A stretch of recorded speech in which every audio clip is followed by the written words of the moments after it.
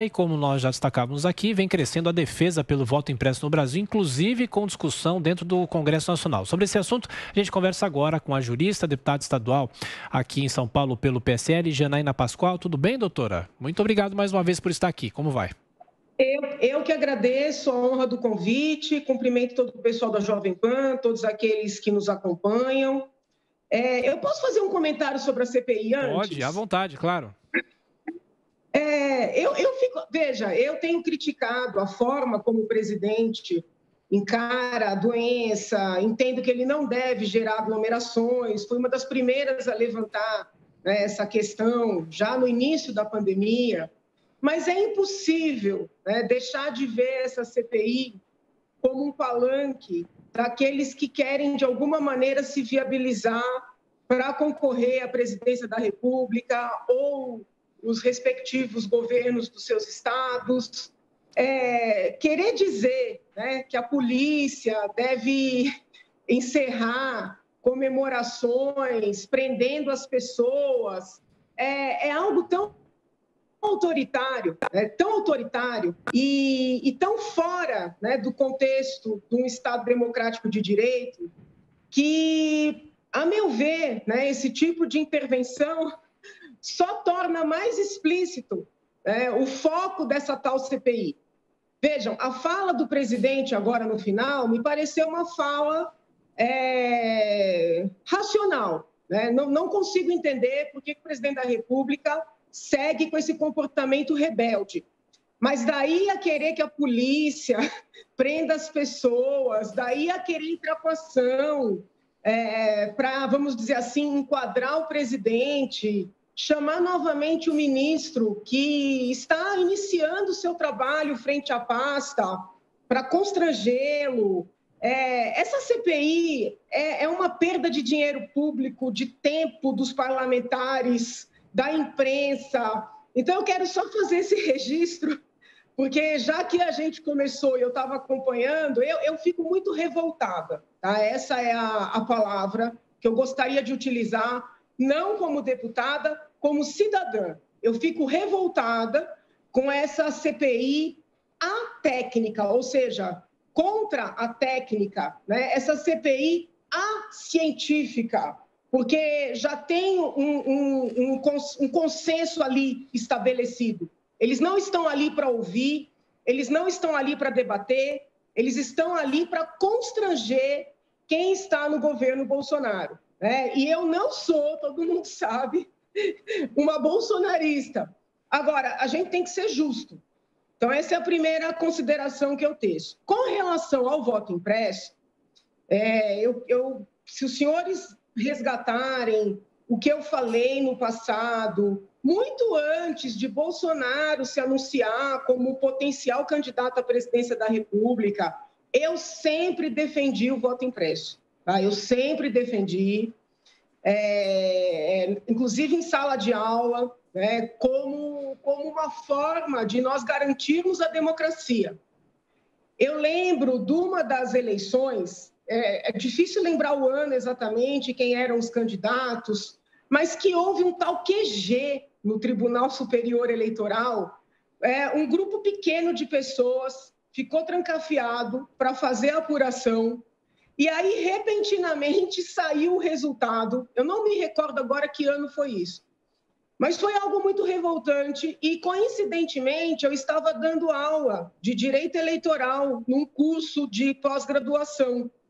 E eu havia acabado de ministrar uma aula mostrando que a eleição precisa, a apuração dos votos precisa acontecer de maneira pública, precisa acontecer passo a passo, né?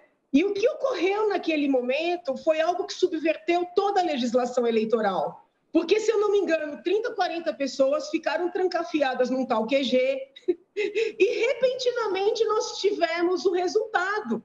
Né?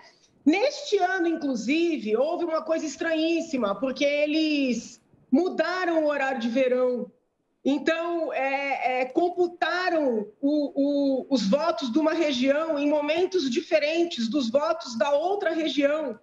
E, repentinamente, havia o resultado. Né? Então, eu, não é que eu não confio não é que eu levanto tese de que há fraude, não é nada disso.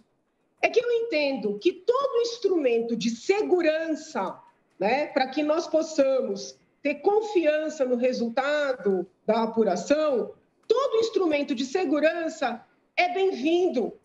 Então, eu não consigo compreender essa resistência. Ah, mas é caro, é caro. Gente, desculpa. O dinheiro público que é gasto para manter esses partidos, né, que são feudos, pequenos feudos, que quando unidos formam Sim. cartéis. Acho que o maior cartel que nós temos no país é o cartel dos partidos. O dinheiro público que é gasto com isso né, poderia ser investido numa, uh, na garantia de maior segurança para o pleito. E eu, eu tenho clareza que essa garantia não vem beneficiar nem o Bolsonaro, nem o Lula, nem quem quer que venha se candidatar.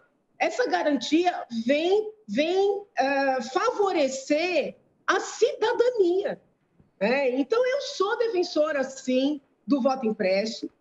Não sou deputada federal. Se fosse, votaria favoravelmente. Sim. Com isso, não estou aqui colocando em xeque a palavra dos ministros do Supremo ou daqueles magistrados todos que trabalham na justiça eleitoral. Não estou aqui discutindo os pleitos anteriores. Estou defendendo que nós adotemos um instrumento de maior segurança para as eleições futuras. É isso. Deputada, agora a pergunta de Rodrigo Constantino. Bom dia, deputada. É, Bem-vindo ao jornal. Somos dois revoltados com a CPI circense, mas vamos tratar do assunto principal aqui. O G1 noticiava que o PSDB dizia que não era possível auditar o sistema do TSE e pedia o voto impresso. Isso em 2015. A eleição a que a senhora se refere, se eu não me engano, é a de 2014. É, o João Moedo, por exemplo, do Partido Novo, também tem vídeo dizendo da importância de ter um voto impresso. O mundo inteiro tem esse mecanismo e nenhum país tem o modelo que o Brasil tem. E nós temos, de repente, que acreditar na palavra do ministro Barroso, que agora virou garoto propaganda da criatura do próprio TSE, dizendo que temos que confiar naquilo que eles dizem. Enquanto isso, é, muita gente mudou de opinião, não a direita. Né? Não é porque estão preocupados com a eleição do ano que vem. É uma bandeira de, de uma década já. Né? Enquanto isso, nós estamos vendo essas pessoas mudarem de ideia a que, que a senhora atribui isso, deputada? Por que, que, de repente, eles agora resolveram que o voto impresso não é mais adequado só porque o Bolsonaro está pedindo? Constantino, é que a imprensa não cobre a Assembleia, entendeu? Se a imprensa cobrisse a Assembleia de maneira detalhada, perceberia que PSDB, PT, Novo, Rede, entendeu? Eles são todos parte de uma coisa só. Né? Basta olhar as eleições que estão acontecendo dentro da Assembleia para presidência e vice-presidência das comissões temáticas. Né? O Novo tem quatro deputados. Tem várias, acho que ganhou duas vice-presidências, se eu não estou equivocada, duas presidências. A Rede tem uma deputada ganhou duas vice-presidências. O PT se diz oposição. Desde sempre tem presidência de comissão, tem a cadeira mais importante na mesa. Então, assim, quem para para refletir né, esses sinais vai compreender que eles são todos parte de uma coisa só. Entendeu? A dificuldade que a gente tem, eu digo a gente porque eu me considero oposição a, a, a esse todo, é que o bolsonarismo, ele é ele não ouve, entendeu? Ele não. É, o, o, bolsonarismo raiz, ele é muito fechado. Então a gente fica e, e, muitas vezes insiste em comportamentos inadequados, entendeu? Então a gente fica numa situação difícil até para defender, sabe? Então a minha situação hoje é de um isolamento quase absoluto, Constantino entendeu? Porque eu não me encaixo nesse pessoal que se declara bolsonarista e que aplaude qualquer coisa. Não consigo, não dá, né? Tem coisas irracionais que não podem ser aplaudidas. E nessa massa amorfa, né, onde eu coloco PT, PSDB, é, rede, novo, novo não tem nada de novo, né? O novo é o PSDB com outra roupa, entendeu? Com sapato lustrado.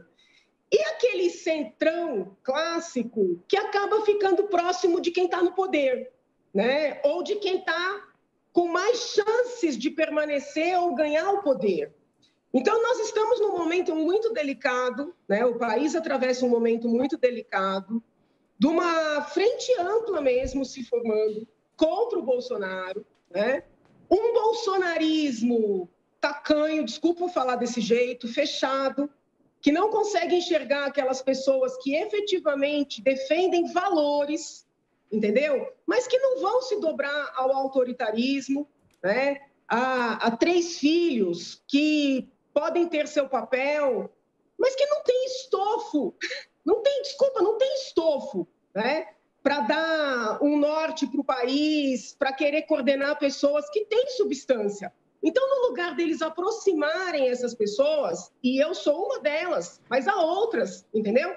Eles afastam, porque são pessoas que eles não conseguem dominar, entendeu? Então, assim, nós estamos num momento delicado, um momento difícil, né? Ou, ou só o que eu posso dizer, posso fazer, na verdade, é expor o que eu enxergo, Constantino. Né? Eu não tenho poder para mais nada. É apenas expor o que eu enxergo. Então, Sem essas dúvida. pessoas estão sim formando essa tal frente ampla, estão sim. Hoje eu converso com lideranças partidárias, eu converso com pessoas que foram completamente anti-PT, anti-Lula, que apoiaram impeachment, apoiaram Lava Jato, e eu ouço estarrecida essas pessoas dizerem: ah, mas não é tão ruim assim, mas Bolsonaro é pior.